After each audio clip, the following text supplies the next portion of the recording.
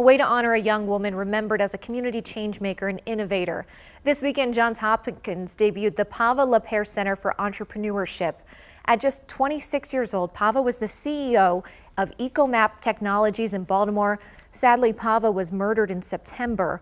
The rising tech CEO was instrumental in the center's formation after seeking space at Johns Hopkins for student entrepreneurs, which was her alma mater. Pava said she didn't want to help entrepreneurs create businesses.